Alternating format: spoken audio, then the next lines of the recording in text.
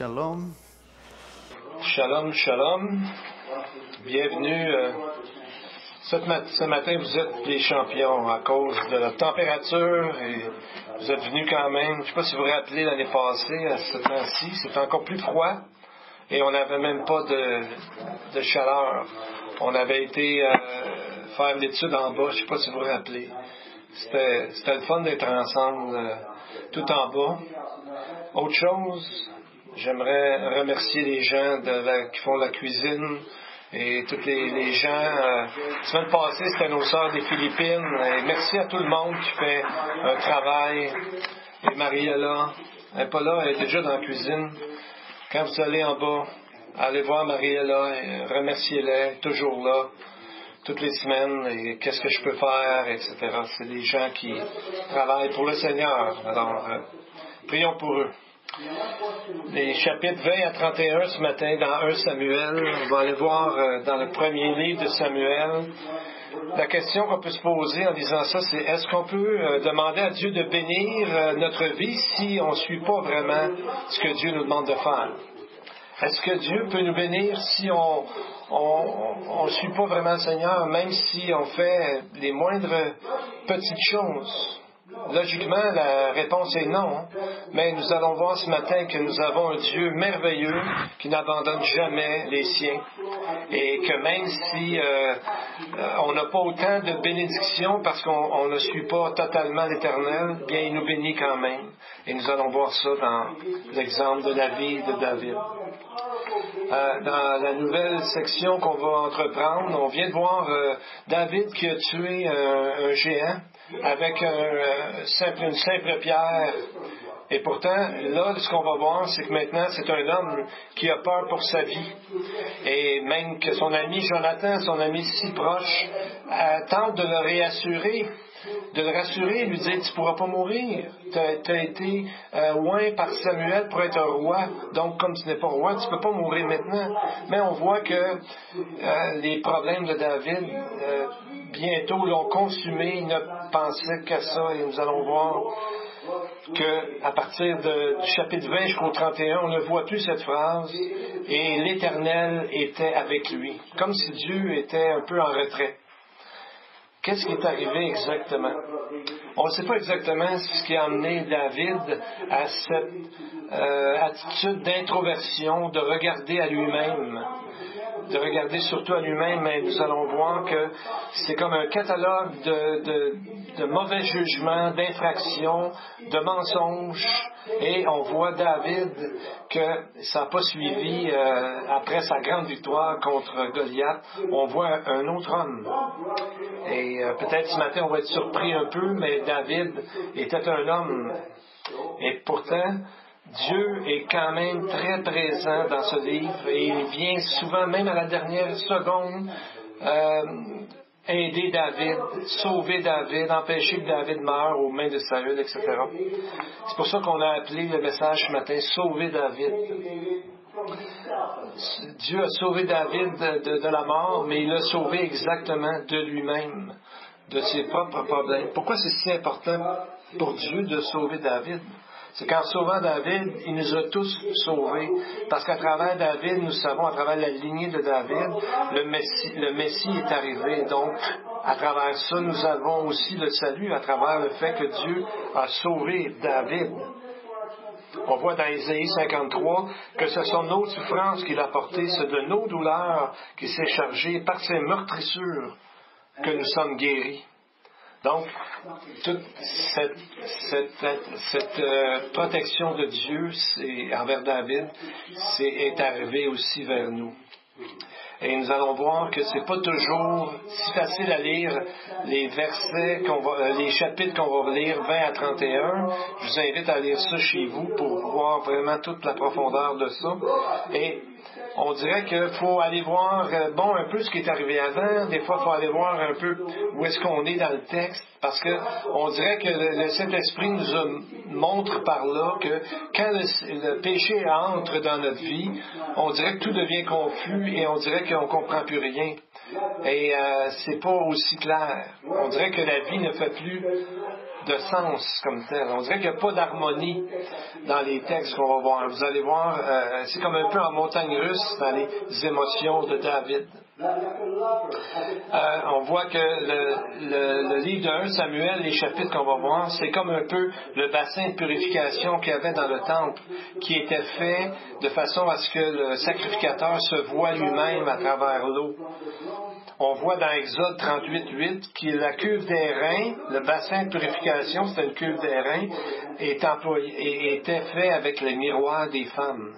Comme le fait que les sacrificatoires doivent se voir tels qu'ils sont pécheurs afin d'être lavés dans le bassin de purification. C'est un peu ce que ces chapitres-là vont nous démontrer que nous allons voir euh, David qui n'est pas si parfait qu'on a peut-être pensé qu'il était. Verset 1 du chapitre 20. David s'enfuit de Nayoth près de Ramah. Il alla trouver Jonathan et dit Qu'ai-je fait? Quel est mon crime? Quel est mon péché aux yeux de ton Père pour qu'il en veuille à ma vie? Donc, on voit que c'est une question existentielle que David demande à Jonathan. Et ça nous donne, euh, ça nous donne euh, pour le reste du livre euh, un peu une image du reste du livre. Qu'ai-je fait? Quel est mon crime? on voit que Job a eu la même approche à un moment donné envers Dieu. Et il a demandé à, Dieu quel était son crime exactement. Donc on voit que Job et David ont été persécutés pour aucune raison qu'on peut voir. Mais est-ce que Job et David étaient complètement innocents, sans aucun péché? Est-ce qu'on peut demander ce genre de questions à Dieu? Qu'ai-je fait? Quel est mon crime? Il faut faire attention à cette question-là parce que euh, Dieu est saint, très saint, trois fois saint. Donc, on voit que le nom de Jésus est salut. Le mot Jésus veut dire salut. Donc, oui, si on, demande à Dieu, Dieu va nous répondre, oui, vous êtes pécheur. Donc, on voit qu'il est arrivé quelque chose dans le cœur, dans la tête de David, pour que, on voit que David, il parle de lui euh, vraiment beaucoup, donc il est devenu un peu euh, important à ses propres yeux. Pourtant, hein, plus tard, c'est David lui-même au psaume 14 qui dit Il n'en est aucun qui fasse le bien, pas même un seul. Donc, il n'en est pas un qui, a fait euh, une, vie parfaite. Non, même pas le, grand prêtre Ahimelech, comme nous allons voir. On voit que euh, Job, dans son livre, euh, qu'on lit que Job dit J'aimerais rencontrer Dieu pour faire valoir mon cas. Et c'est à ce moment-là que Job, on voit à la fin du livre qu'il s'est mis à faire attention au genre de prière qu'il demanderait à Dieu. On voit que quand Dieu lui répond à partir du chapitre 38, il, il lui demande à Job 77 questions très puissantes. Et on voit, ça commence il dit, euh, le Seigneur à Job, Qui est celui qui obscurcit mes desseins par des discours sans intelligence? Qui est celui qui dit, euh, Quel est mon péché? Qu'est-ce que j'ai fait? Donc on voit que Dieu commence à lui demander des questions. Où étais-tu quand je fondais la terre? Dis-le si tu as de l'intelligence. Qui a mis la sagesse dans le cœur ou qui a donné l'intelligence à l'esprit? Dieu dit, dis-moi-le. Qui le fait? Dis-le si tu as de l'intelligence. Au verset 18, parle si tu sais toutes ces choses, si tu sais toutes ces choses. 41, verset 11, qui était avant moi que je lui sois redevable? Dieu demande à Job. Donc on voit que Dieu est infini, il n'a pas de commencement ni de fin. Comment un homme, une création finie qui est, euh, euh, créée par Dieu pourrait demander à Dieu pourquoi telle ou telle chose? Pourquoi m'arrive-t-il telle chose? Donc, on voit qu'après les 77 questions, c'est là que Job euh, cherchait une place où se cacher et qu'il a dit, dans le fond, 42, verset 6, C'est pourquoi j'ai horreur de moi et je me repens dans la poussière et dans la cendre. C'est pour ça que David a dit dans le fameux psaume 51 qu'on appelle souvent le psaume de la repentance, Je reconnais mes transgressions, détourne ton regard de mes péchés. Donc, on voit la repentance fait des merveilles. Et on va voir le livre de Samuel ressemble beaucoup au livre de Job. Il va répondre à deux questions. Qu'ai-je fait et quel est mon crime?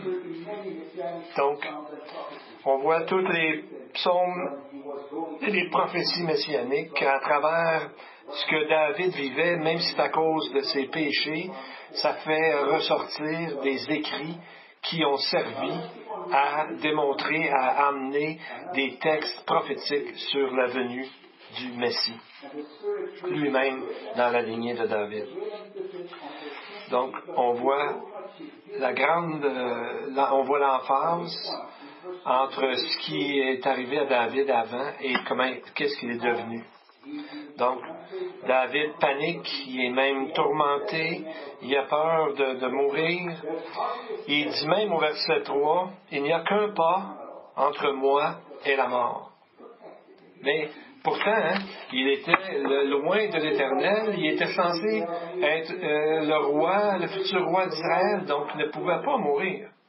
Donc on voit que s'il a oublié ça, c'est que David n'était plus en communion avec Dieu comme il était avant. Il avait oublié sa parole et ses promesses. Donc on voit que Jonathan, qui est un homme, son ami, très, très proche ami, euh, commence à raisonner avec lui pour dire, David, voyons, tu es loin de là, tu ne mourras pas. Et il essaie de différentes façons euh, de lui dire à David. Au verset 9, il lui dit, car si je savais certainement que mon Père était décidé à faire venir le mal sur toi, est-ce que je t'en informerais pas? Donc, est-ce qu'il dit, est-ce que tu as oublié que je suis ton ami? Donc, euh, David a oublié que euh, Jonathan, c'était son meilleur ami. Des fois, quand on vient trop à penser de nous, trop introverti, on ne pense plus à Dieu et encore moins à nos amis. Et même Jonathan, même jure au verset 12, je prends à témoin l'Éternel, le Dieu d'Israël, que je suis ton ami. Donc, il, essaie de rappeler à David, qui, est en, comme un peu en dépression, dans le fond, de dire, écoute, Dieu ne t'abandonnera pas, Dieu a fait de toi le roi d'Israël. Regardez au verset 14, même ce qu'il lui dit. Si je dois vivre encore, veuille user envers moi de la bonté de l'Éternel. Et si je meurs. Donc, c'est très, très sage de la part de Jonathan. Il lui dit, dans le fond, David, a peur pour ta vie, mais pourtant c'est moi. Hein. Dans le fond, c'est comme s'il disait, c'est moi qui est censé être, euh, être euh, m'énerver. Moi, je, je t'ai donné de la place comme roi, ça serait moi normalement le descendant. Moi, je t'ai donné ma place. Donc, euh, pourquoi tu as peur? Donc, euh, Jonathan était pour être le prochain à s'asseoir sur le trône. Il va jusqu'à faire une, euh, alliance avec toute la maison de David. Verset 16. Car Jonathan a fait alliance avec la maison de David. Donc on voit grande profondeur de, ce qu'il croyait dans la parole de, Dieu, dans la promesse de Dieu. Mais on voit que les deux, à la fin, ont, tombé dans le problème. Parce qu'on on voit que Jonathan est devenu tellement ami avec David qu'il a participé au même péché que David a fait. C'est ce que nous allons voir au verset 4, il lui dit à David, je ferai pour toi ce que tu voudras. Donc l'amitié, ça ne veut pas dire qu'on doit suivre la personne dans son péché en faisant des choses contre Dieu. La vraie amitié, comme le vrai amour, des fois c'est faut dire des choses difficiles, il faut dire des choses vraies à notre ami et non pas tomber dans le même problème que lui. Donc David était nerveux. David s'en faisait, David, ça allait mal dans sa vie.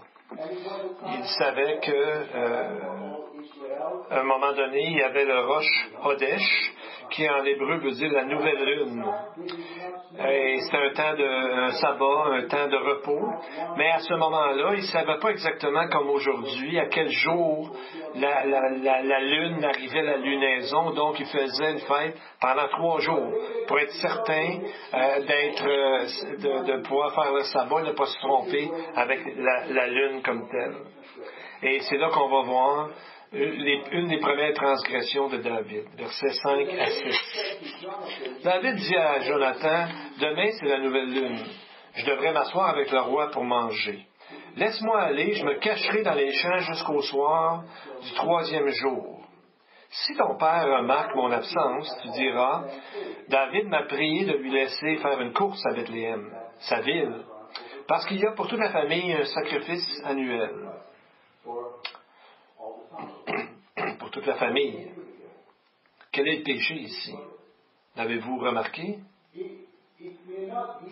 C'est pas de l'air très gros à nos yeux, mais c'est très gros aux yeux de Dieu. C'est vrai qu'il euh, y a un sacrifice annuel pour toute la famille, mais c'est pas vrai que David voulait y aller. Il n'avait aucune intention d'aller là. Il allait se cacher, il l'a dit dans le texte. Donc il a menti. Il a menti.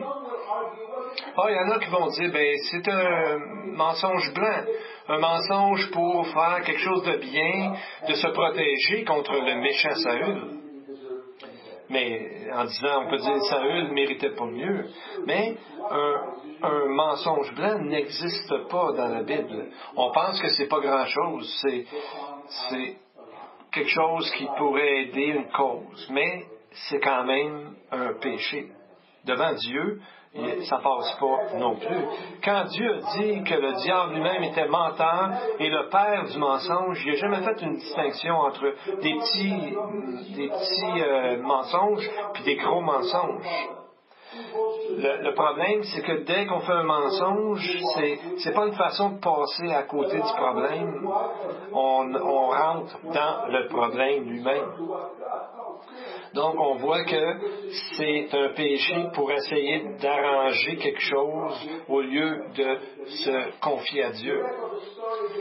Et tous les autres chapitres qui suivent, on voit que notre Dieu euh, ne peut pas, on ne peut pas lui demander de participer, d'être partie prenante de notre péché parce qu'il est petit. C'est très important. 1 Jean 3.4 nous donne la définition la plus claire Quiconque pêche transgresse la loi, et le péché est la transgression de la loi. La, Bible ne fait pas grande distinction dans le péché. Ça revient toujours à dire dans la Bible que le péché, c'est de violer ou de ne pas faire attention, d'être indifférent à la loi, ce qui est mieux même de ne pas l'écouter. on voit le mot sans loi, ça vient du mot nomos, qui veut dire ce qui est correct, ce qui est droit et juste. Donc c'est n'importe quelle norme doit être droite et juste, surtout devant un Dieu trois fois saint le péché est comme euh, un, serpent qui rentre doucement et qui vient qu'à prendre toute la place dans notre vie. J'ai lu à propos de les frères John et, Charles Wesley qui ont emmené l'Évangile euh, en Angleterre et qui ont été des grands évangélistes.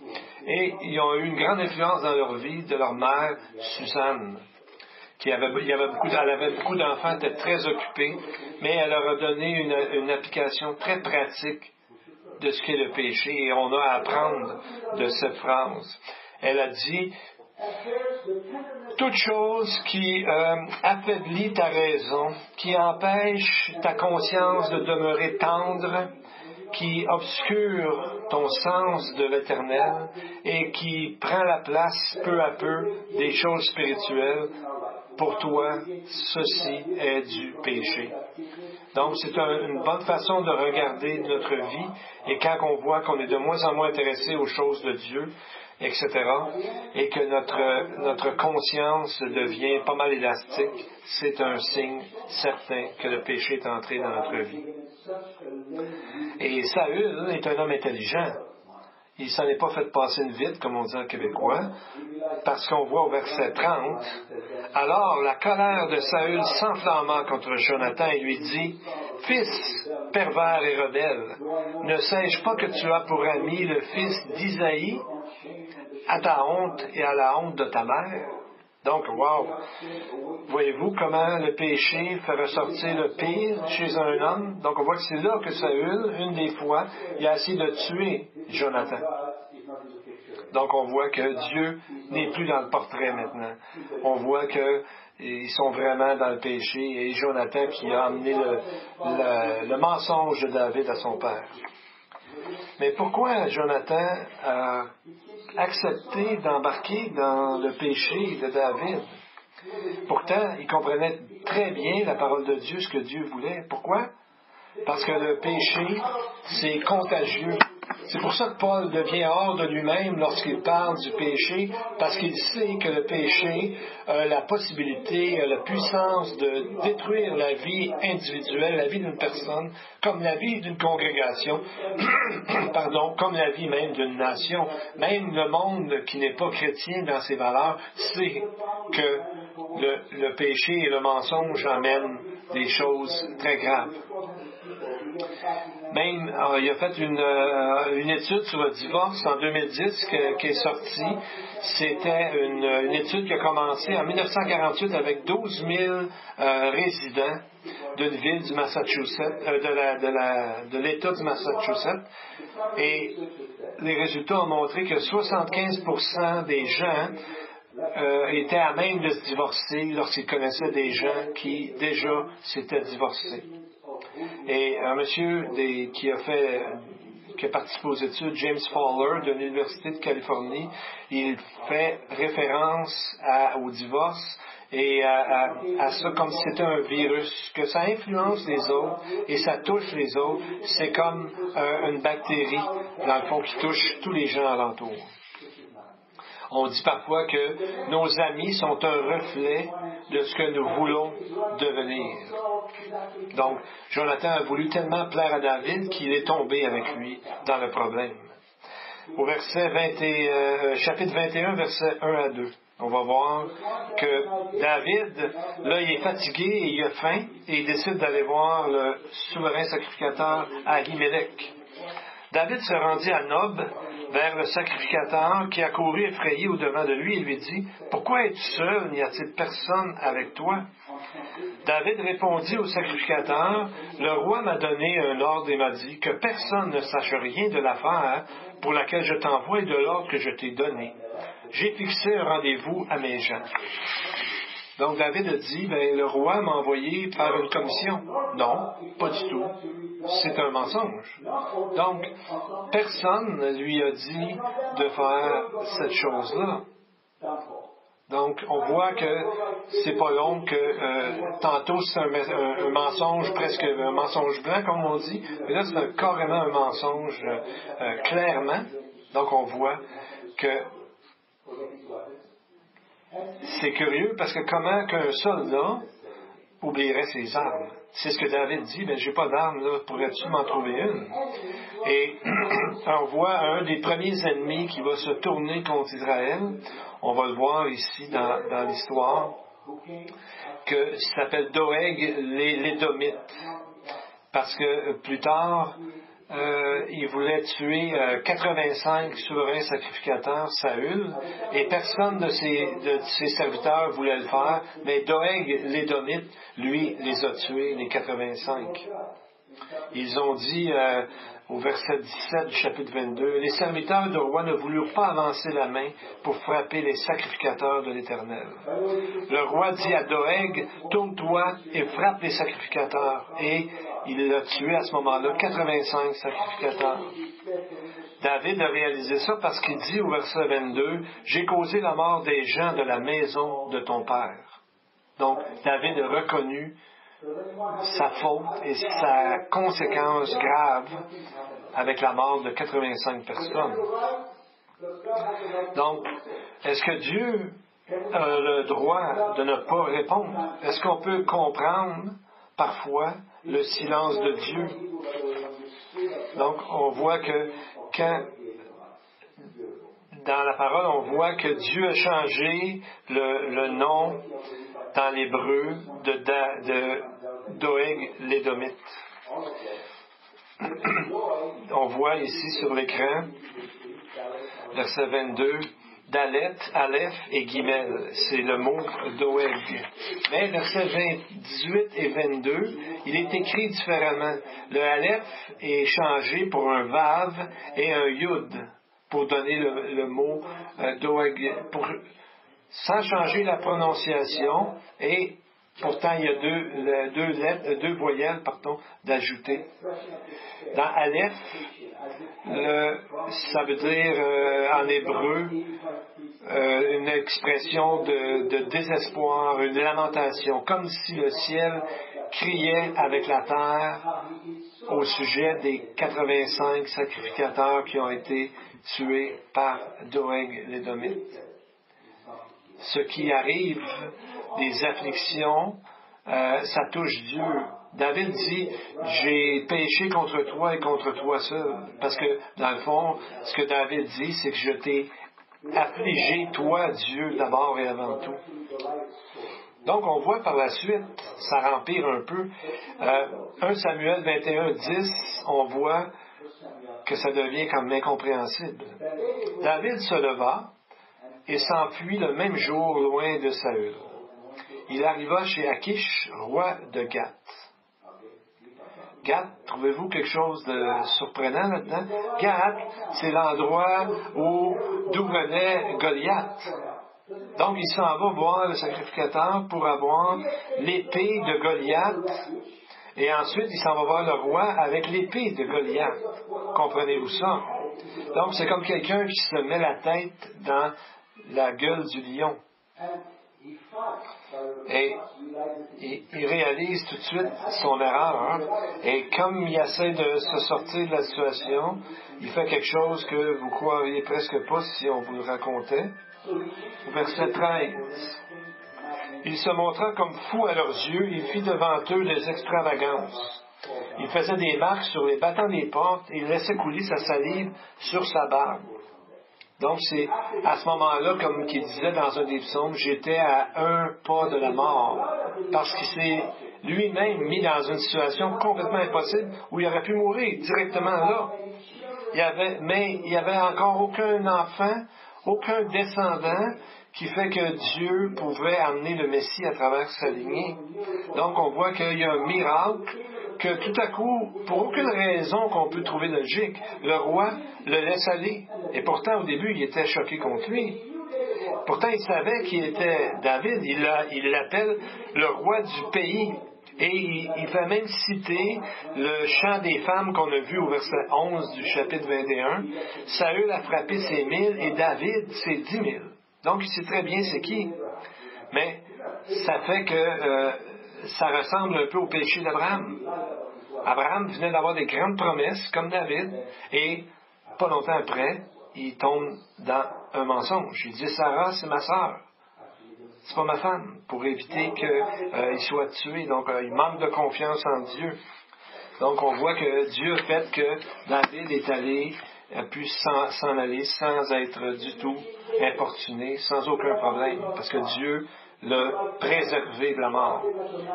Donc on voit le roi David, le futur roi David, un homme selon le cœur de Dieu, pourtant a menti deux fois. Ensuite, il a agi comme un fou et c'est simplement le début d'une longue liste. La première chose pratique qu'on peut se dire, c'est si David a tombé comme ça, qui suis-je moi pour ne pas tomber?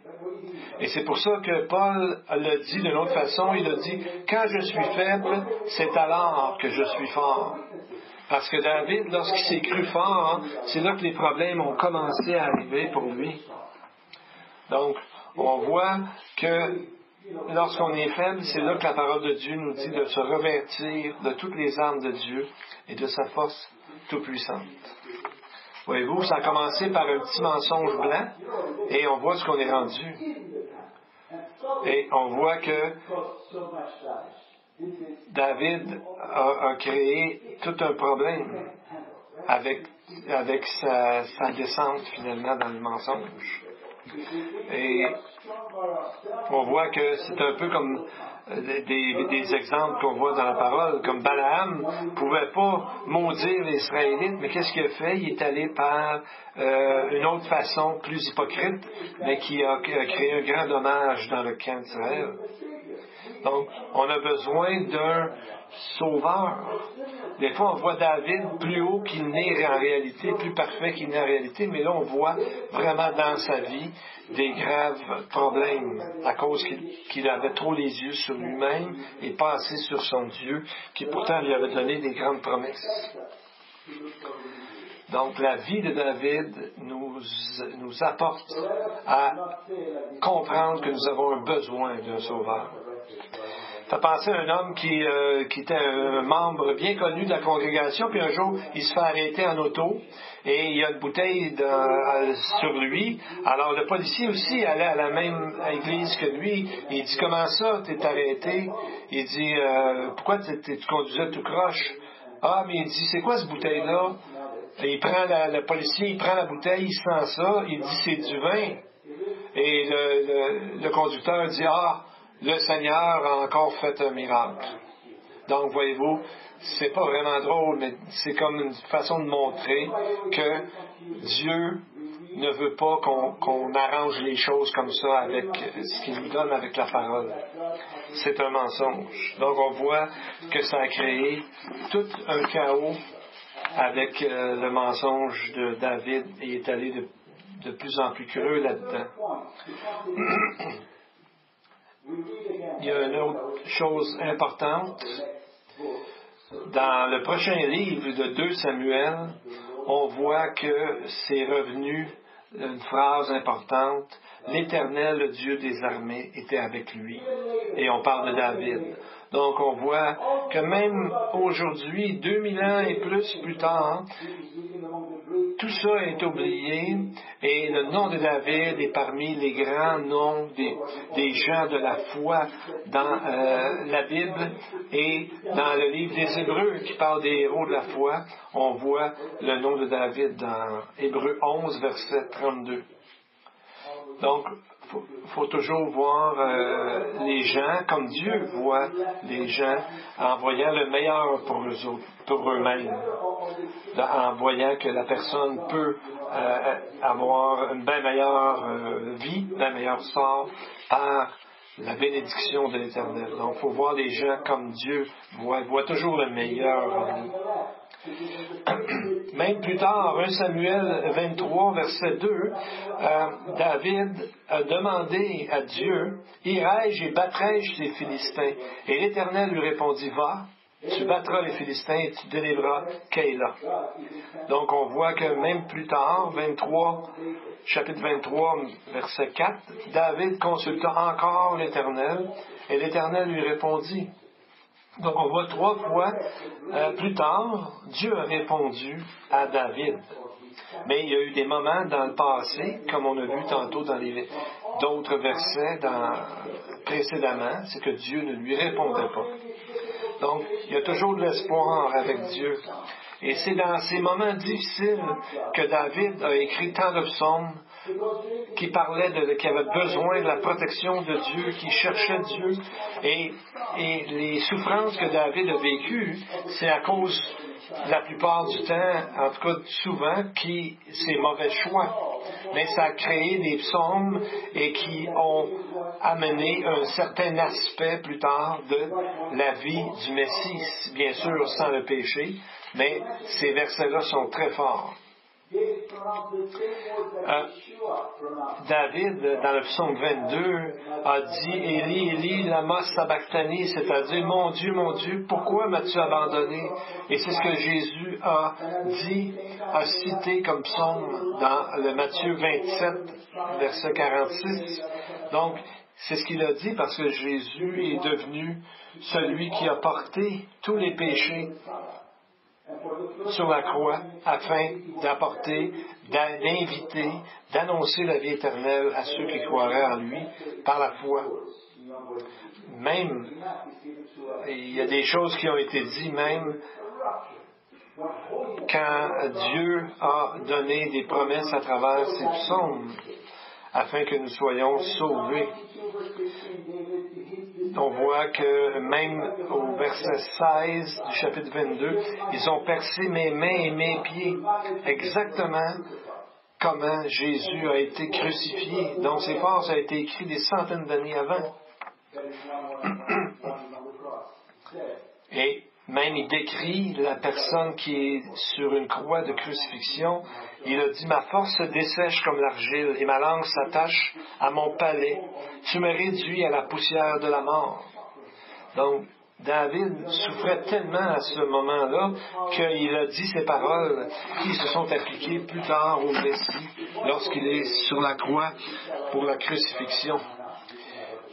Il y a le il y a un, rabbin dans le Pesikta Rabati 36.4 qui dit que tous ceux, à cause des péchés, les, ton, euh, ta langue va, se coller à, ton palais et tu vas devenir comme euh, la poussière de la mort parce que le Messie doit venir de cette façon-là est-ce que tu es prêt, Israël, à endurer ça jusqu'à ce que le Messie arrive? Au verset 7 du chapitre 22, ils ont dit, les commentateurs juifs, quand ils ont vu le rejet du Messie, ils ont dit, tous ceux qui me voient se moquent de moi, ils ouvrent la bouche, secouent la tête, disant, recommande-toi à l'Éternel, il te sauvera, il te délivrera parce qu'il t'aime. Donc, ils, ils ont interpréter ça en disant pour le bien d'Israël, toi, le Messie, devras expérimenter l'angoisse, la dérision, la moquerie parmi les nations du monde. Tu vas, t'asseoir dans les ténèbres euh, et tu, verras aucune lumière et la, la, peau va te coller sur les os et ta langue sur le palais parce que tu dois amener le salut à toutes les nations. Donc ils ont interprété comme ça. Et ils ont même dit dans dans le verset, David même dit au verset 18, il partage mes vêtements, il tire au sort ma tunique. Et nous savons que c'est exactement ce qui est arrivé aussi lors de la crucifixion. Les Romains ont tiré la tunique de Jésus au sort. Donc, probablement David a peut-être compris que ces mots-là allaient au-delà de sa propre souffrance il, a dit au psaume 16, qui a été repris dans, dans les, les actes 2, 27, il dit, tu ne permettras pas que ton bien-aimé voit la corruption. Donc on voit que ça parle de la résurrection. Donc c'est vraiment au-delà de ce que David a vécu et qui s'applique au Messie.